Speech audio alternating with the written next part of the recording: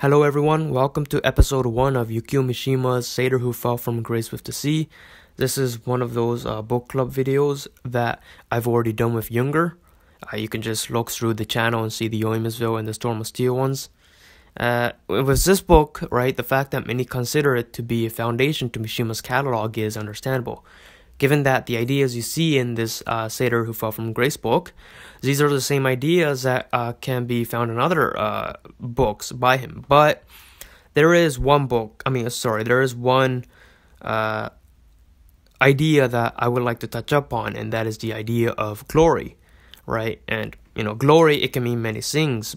And uh, if I were to ask you, hey, is this glory? Then, you know, you could easily say yes or no, but if I were to ask you to explain it, right, uh, then it's it's a bit more difficult to uh, you know describe the definition, and there's also of course the fact that many different things they can all be considered glorious, right, and these things can be uh, they can seem distinct and from from each other, but strangely enough, they all qualify as something that uh, would be glorious despite despite all these things being different, right? And so, to put into the realm of examples, uh, winning a race with uh, modern automobiles, uh, you know, like with the uh, Formula One races or whatever. I don't exactly know how they work. Uh, or a knight in shining armor courageously fighting a dragon can both be considered uh, glorious um, by contemporary and Asian observers. And even though they might be different, right?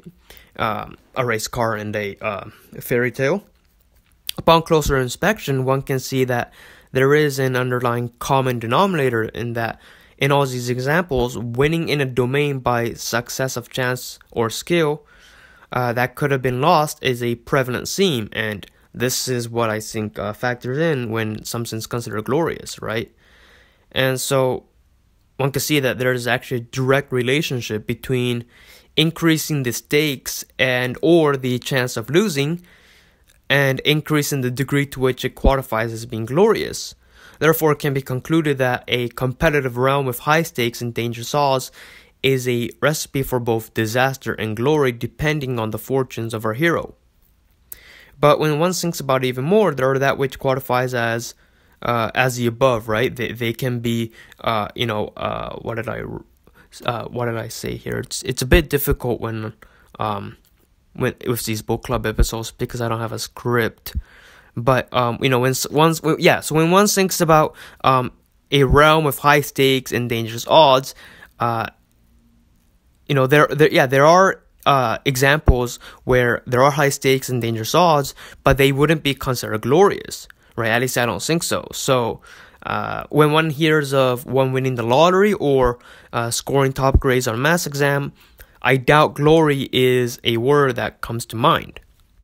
So there is a strange contradiction happening here, and what we can conclude in any case is that it is difficult to have a precise definition of glory, despite being able to, you know, unanimously agree on whether something is glorious or not.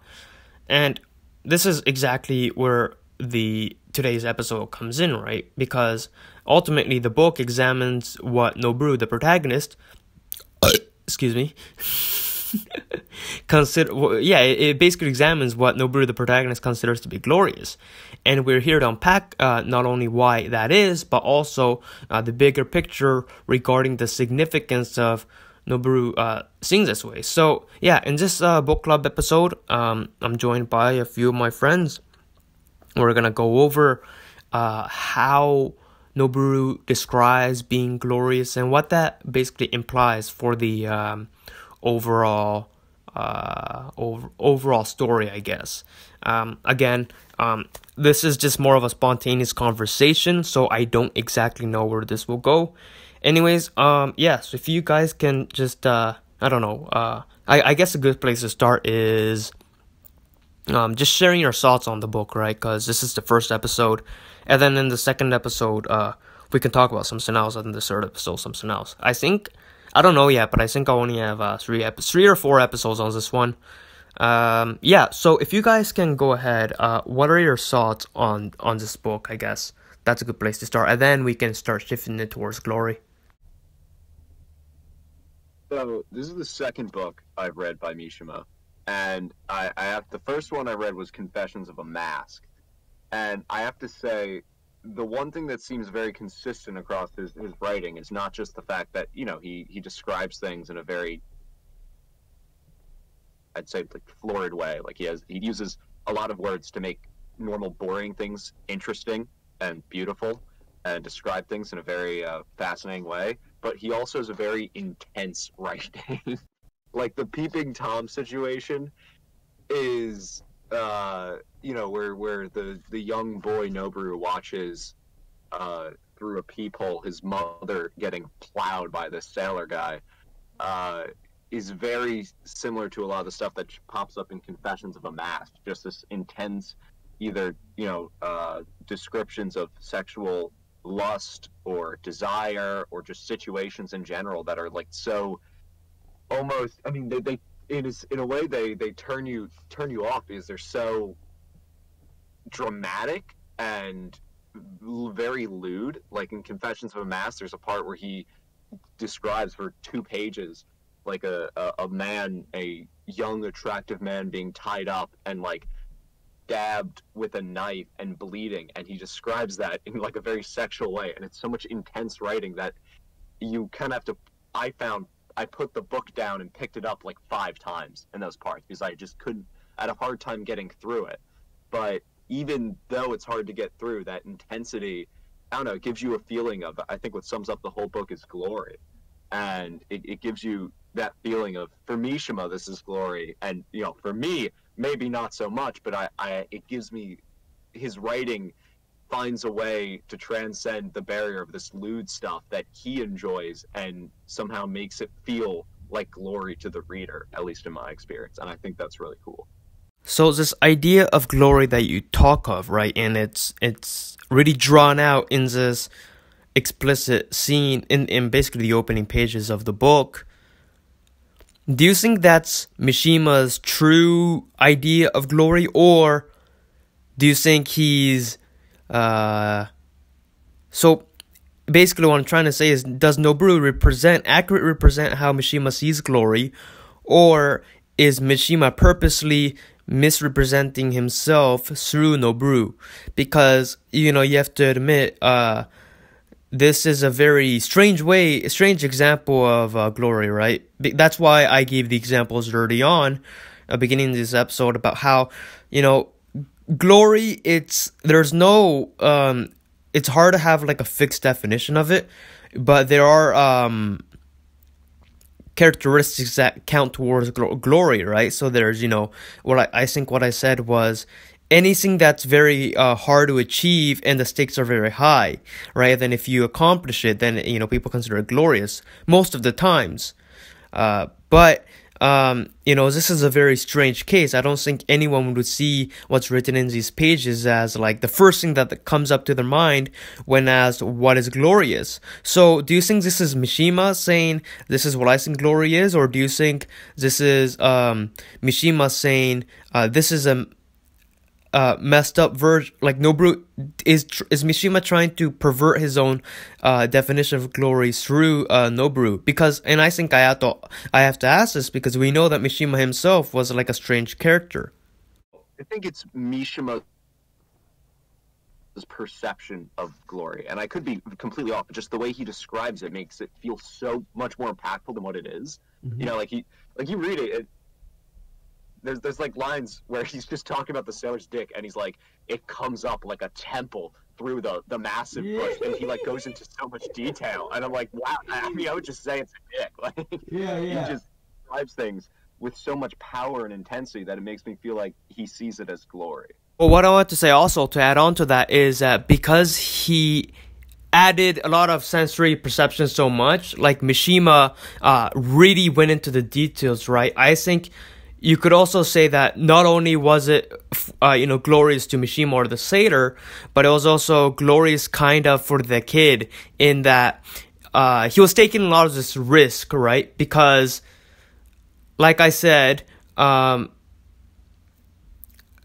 a lot of what a lot of its connotations with being useful and young is found in you know being young and exploring and if you wanted to kind of like uh, abstract that part of that is um, part of that involves doing something that you're not supposed to do right uh, you know breaking forbidden norms right and just pioneering on that new frontier and I think so in that sense, for uh, the kid Noboru, uh, there is a um, uh, glory in in that too, right?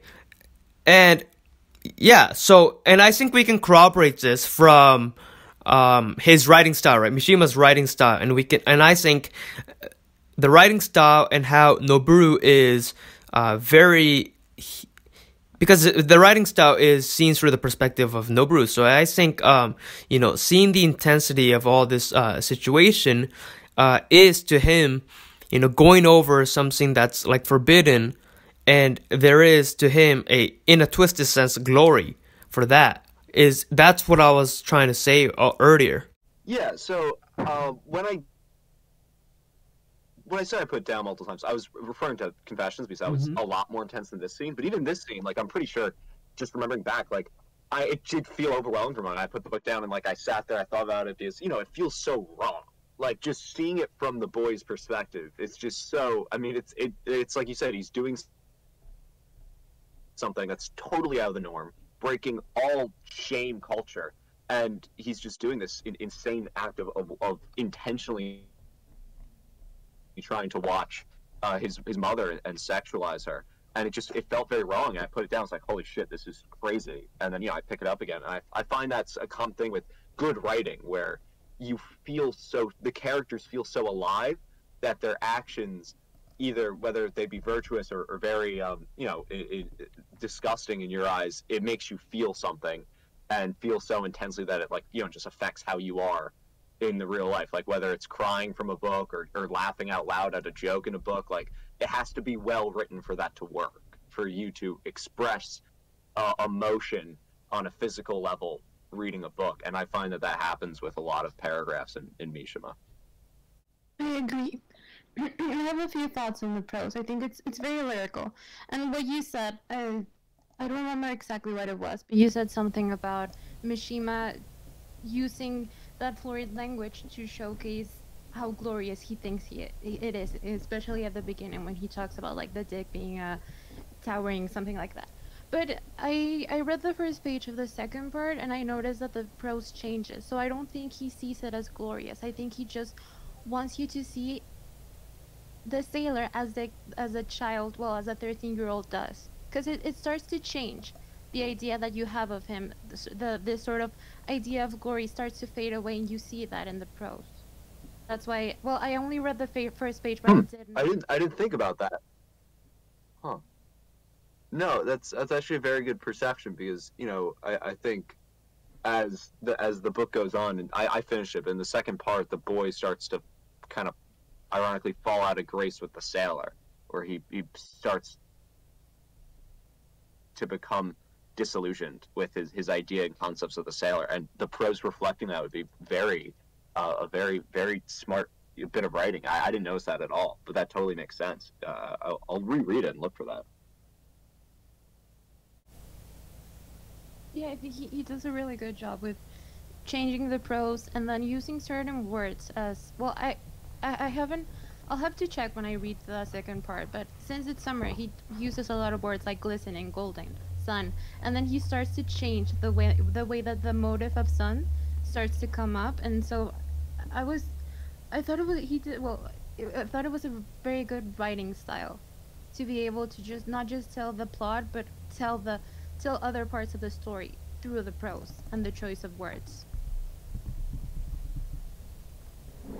Mm-hmm yeah he he embodies the the writing and you know the the prose. It embodies the character and from the perspective of the character. I noticed that explicitly in confessions. And not to bring up confessions so much because obviously this is not about that but you know that's an, another mishima book that i liked a, a lot it's the my first introduction to him. But he just embodies the point of view of whatever uh, character it's written from and matches the writing to that character, which is I mean takes a, a lot of work and a lot of understanding of his characters.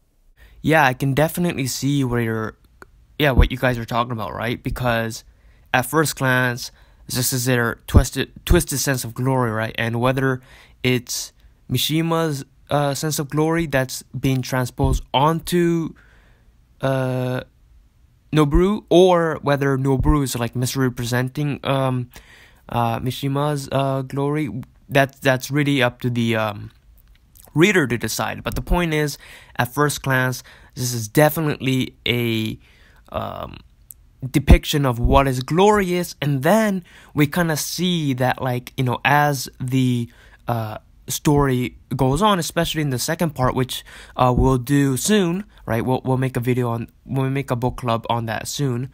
Uh, that kind of glory is, as the title suggests, falling from grace, right? So, uh, it kind of helps to uh, put this whole XYZ's is in the context of how you can lose it, right?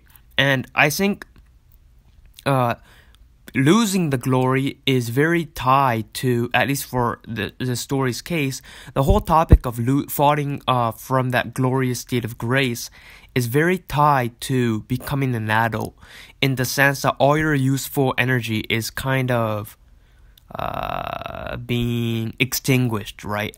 Because you know anyone that knows Mishima, uh, that was what he was so scared of, right? That um, as you grow older, you can't find that glorious uh, moments, uh, for lack of a better for lack of a better word. And so I think you know what, um, yeah, I, I think this is a great place to uh, wrap up this episode. And the next episode, we can definitely talk about that whole growing up thing, right? Uh, what is growing up to Mishima? How does Noboru see growing up? And how does he view a already grown up, or yeah, already fully grown person like uh, the sailor? So I think this episode uh, it was a great one. Uh, thanks to you guys for uh, coming on, and thank you to the uh, listeners for listening. Uh, as as you know, it's, this is this one's about glory, right? What is glory? How does it fit into the book? And then next episode, it will be about how does that glory come into conflict with growing up. So stay tuned for that one. Uh, that that video will be coming out in a few uh, days, a week's tops. Uh, like and subscribe. Uh, thank you very much.